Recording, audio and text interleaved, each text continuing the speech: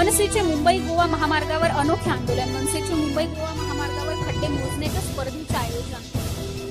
प्रशासनाला दिली पंचवीस ऑगस्टची डेडलाईन सन दोन हजार अकरा पासून मुंबई गोवा राष्ट्रीय महामार्गाच्या पनवेल ते इंदापूर या चौऱ्याऐंशी किलोमीटरच्या रस्त्याच्या रुंदीकरणाचे काम संथ गतीने सुरू असून महामार्गावर हजारो खड्डे पडले आहेत. आज मनसेने तालुक्यातील वडखड नाक्यावर महामार्गावर काय पडलेल्या खड्ड्यांविरोधात आंदोलन करून अधिकाऱ्यांना महामार्गावर बोलावून त्यांच्या समोरच मोजटेप घेऊन खड्ड्यांची लांबी व रुंदी मोजली. ही लांबी रुंदी मोजली असता या महामार्गावरील खड्डे ही सहा फूट रुंद तर दहा फूट लांब असल्याचे दिसून आले आहे. मात्र हे सतत पडणारे खड्डे आणि महामार्गावर होणाऱ्या अपघातांनी त्रस्त झालेल्या जनतेचा प्रवास सुखकर व्हावा आणि प्रशासनाला जाग यावी. यासाठी आज मनसेच्या वतीने खड्डे मोजण्याच्या स्पर्धेचे आयोजन करण्यात आले होते. पंचवीस ऑगस्ट पर्यंत खड्डे